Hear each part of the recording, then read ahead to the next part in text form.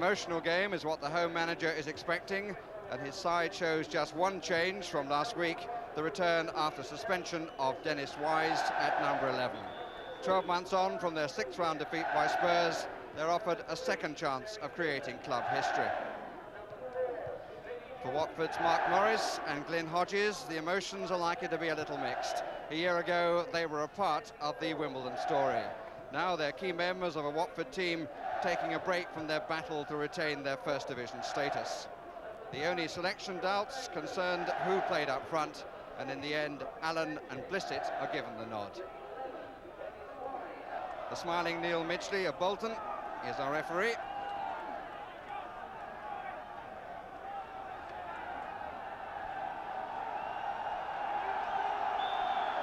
And away we go on the quarter-final of London Suburbia, which is likely to prove quite a battle. Watford playing up the slope in the first half. Won both the league matches against Wimbledon. There's Blissett early on, and from a tight angle, gets the corner.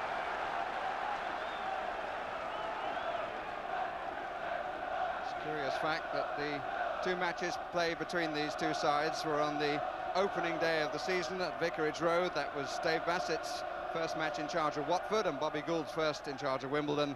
And then when they met again, Steve Harrison was making his debut as the Watford manager. Out by Cork. Kenny Jackett. Allen just couldn't get back far enough. Decided to go for the volley rather than the header. Too long from Hodges. Malcolm Allen was backing away, trying to set himself up for a spectacular volley. But in the end, the cross was too long for him.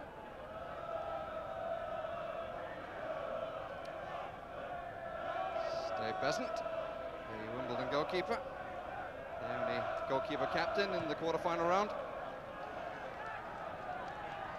First touch for Fashanu, then for Sterling. That's a chase for Gibson, covered by Wilf Rostron.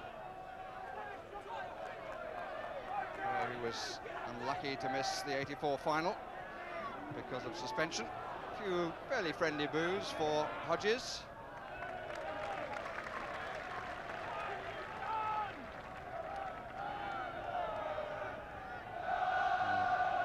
Beasant of the long kick. Met by McClelland. Hodges. Foot was up a little bit, and Neil Midgley pointing at Hodges, and quite rightly. Certainly showed the studs. Terry Phelan is the man who felt the impact.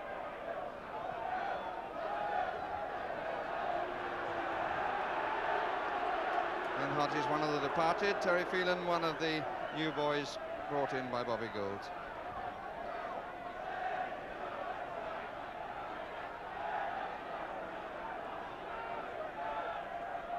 Tom Walley, the coach in the middle for Watford.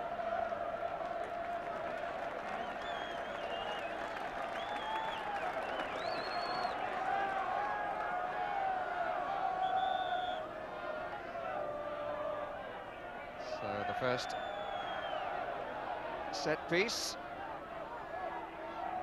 Free kick, dead ball, call it what you like. But something on which every coach spends a great deal of time during the week. Thorn to take it.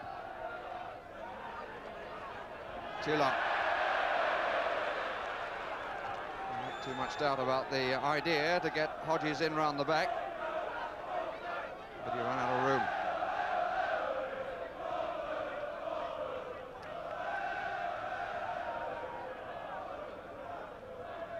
Plough lane. And they're waiting for Tony Coton's kick.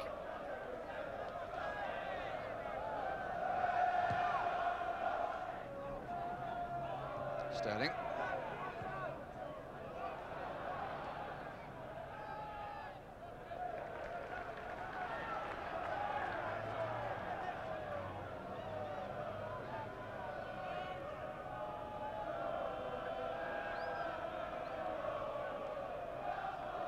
Porter. Cork. Two against two. And Fashanu is covered by Rostron and covered well.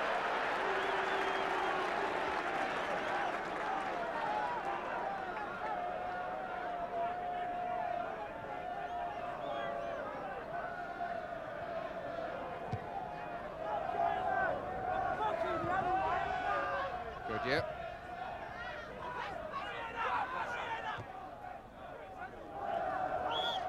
Free kick. By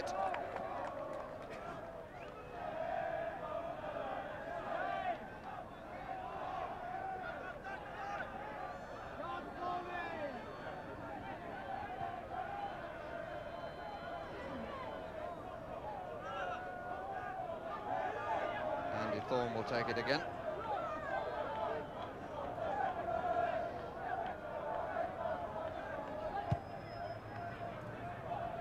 Cork for Shot was from Wise.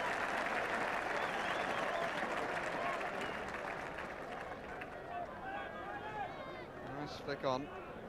First Cork, and then the header of less power by Fashanu. Acrobatics from Wise.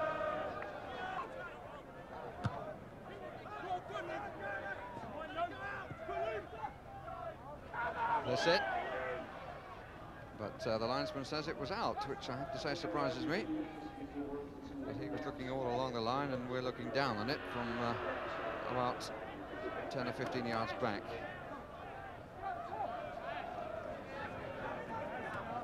That's new. Gayle. This goes to prove that not every forward ball from Wimbledon is uh, in the air.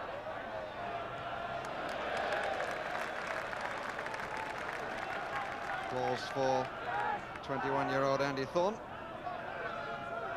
the players being watched at uh, under 21 level. Cap by England at uh, that level. Gayle got up but completely missed it. Good job didn't.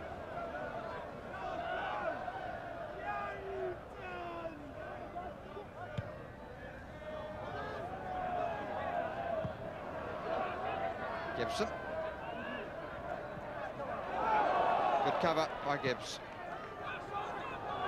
Chase for Blissett. And Gayle having a bit of trouble. Was there an elbow? Not according to the referee. They've got a man over if they find the right one. And it was set up for Allen to score after Thorn could only just stop the ball coming across. Delight for Watford, but a total mess for Wimbledon. Gayle not winning the ball when he should have. He obviously felt that he was elbowed. No whistle came, no linesman's flag. Play continued, and Allen was helped to the finish by Thorn. Watford in the lead, 19 minutes gone. Sanchez. Phelan moves in. Not much on for Sanchez, he's got to cross it on his own. Fashanu! Well, the cross beat the defence. But the header was no test for the goalkeeper.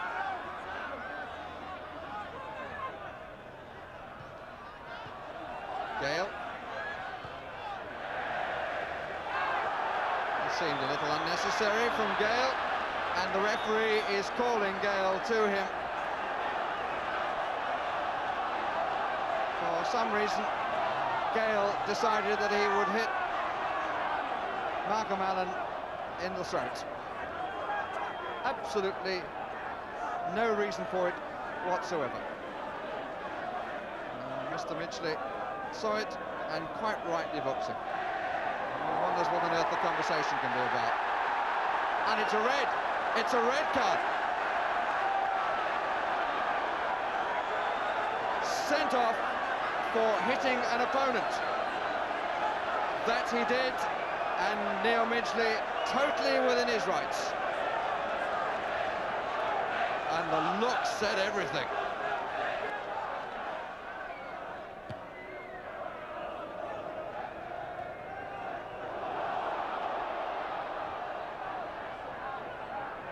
Sterling.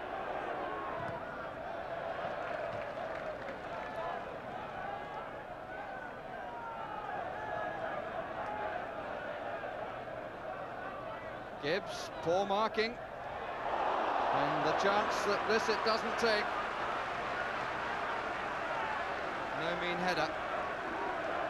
But it went a couple of feet too high.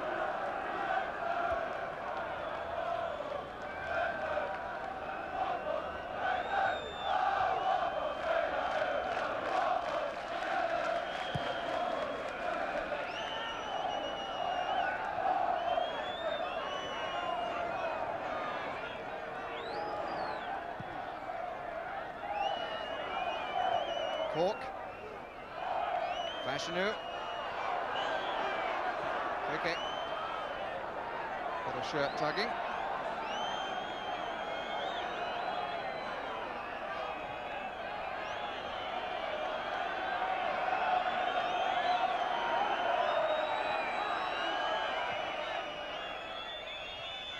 Gibson. Out by Jackett.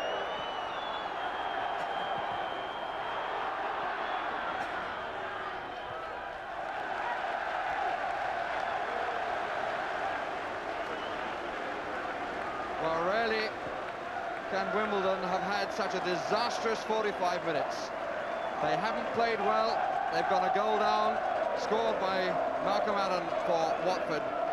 And Wimbledon have to play the second half with 10 men.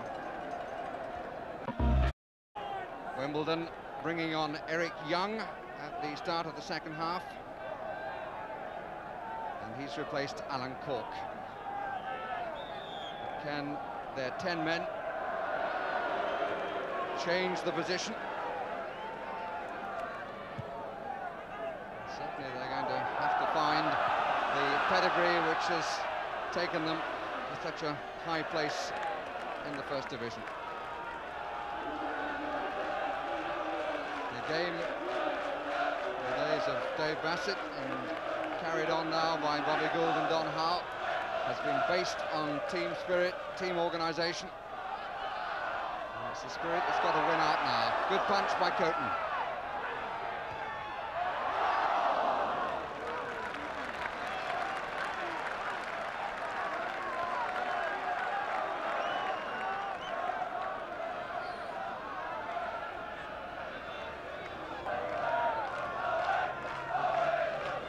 To look at the Wimbledon lineup, they're basically playing only three at the back.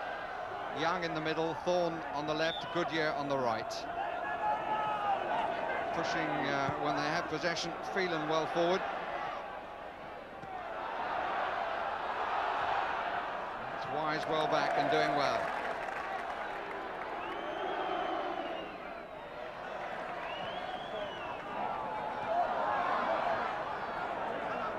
Thorn. Here's Phelan. Well played. He's got the free kick.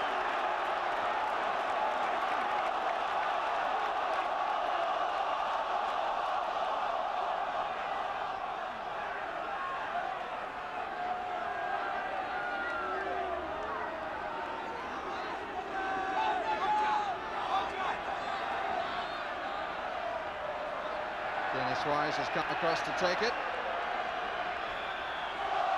Young up alongside Fashanu.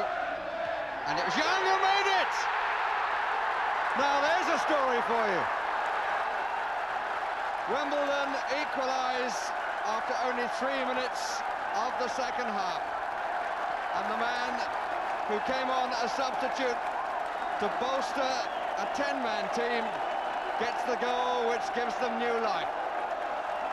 Now take it easy, says Bobby Gould and he came pretty close to a smile.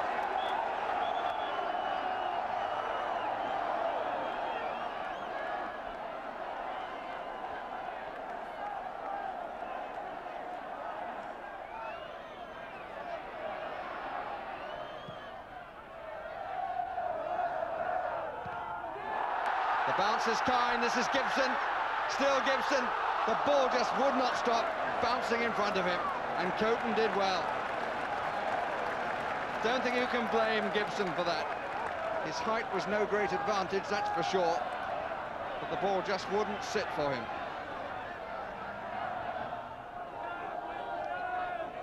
Sitting behind uh, Bobby Gould, the moustache, is Brian Gayle, the man who was sent off.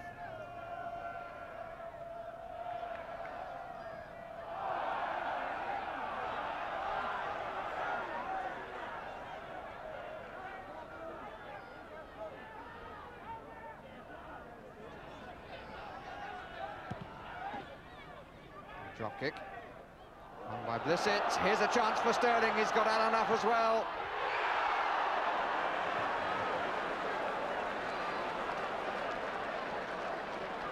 Well, I think his manager may feel if it wasn't quite gilt-edged, Sterling should have done rather better with that. Shot went across the face of the goal with Allen waiting, and the goalkeeper untroubled.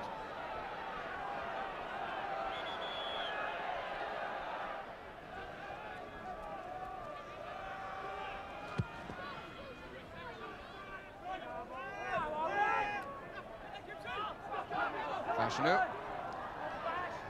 Shielding it, winning it, taking them on. Pulled by Jackett.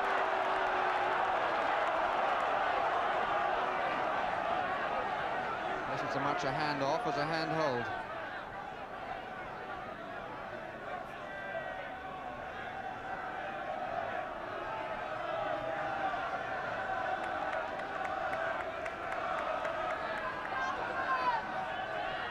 Wise to take it.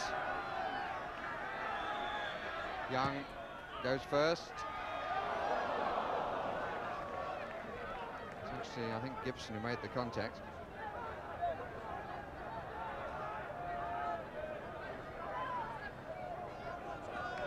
Terry Gibson, player bought twice by Bobby Gould. Took him to Coventry originally when he was manager there.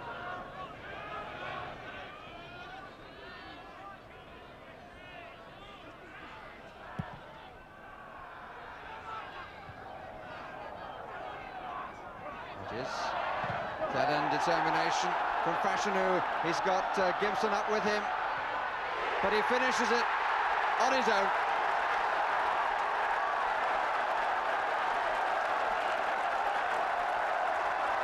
Tony Coton turns and walks away as everybody piles on Fashanu, who scores what should be described as a typical goal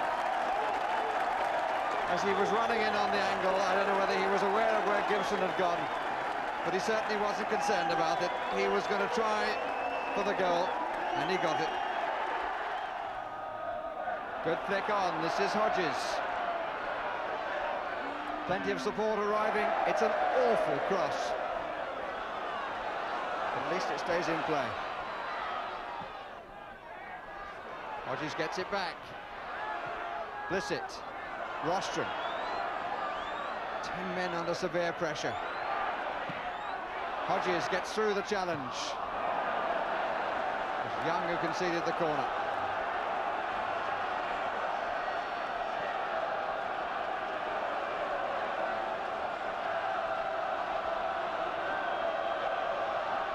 Ten minutes left for the ten men of Wimbledon to survive It's suddenly become very testing for them after they turn the match upside down. Rostron, it's a good header. And it was very, very close indeed. Plenty of power. It was just the wrong side of the post from his point of view.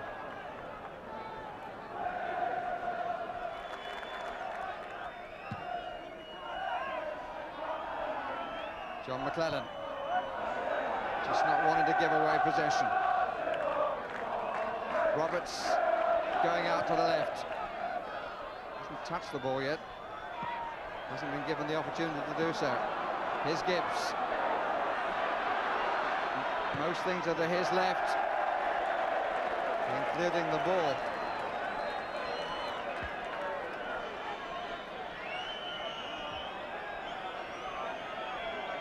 It's been a very anxious afternoon. He said it would be an emotional occasion. But I don't think the emotion was quite in the way that he had anticipated.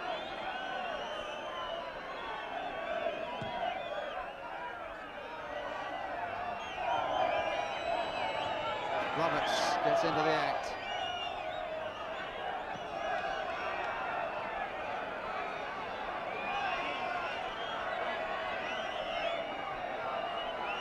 McClelland.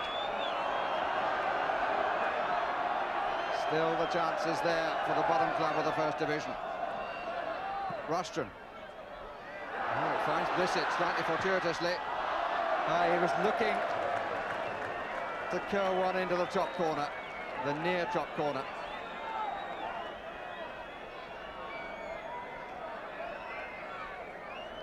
We're into the last minute. Crescent will use as many seconds as he can of it.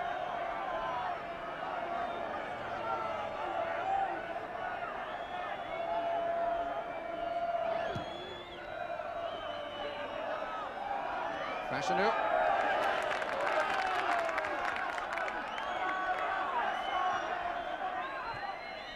Sanchez.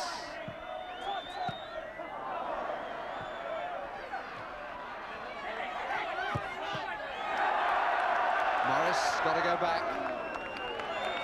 Long kick needed. They've got full width. Well won by Goodyear. He's had a good second half. Rostron to take the throw quickly the Hodges. Four waiting for Watford. Rostron supplies the cross. Beasant gets his fist to it. Miss kick by Hodges. Anyway will do at this juncture.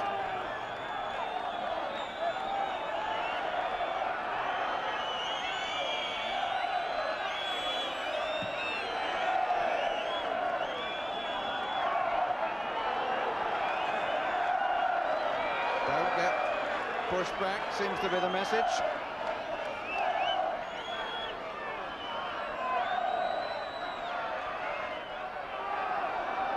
Little touch, Porter, still another little touch. Haven't got time for too many more touches, and McClelland's shot is well wide. And Mr. Midgley looks at his watch. And we may well have just seen Watford's last chance of saving the game.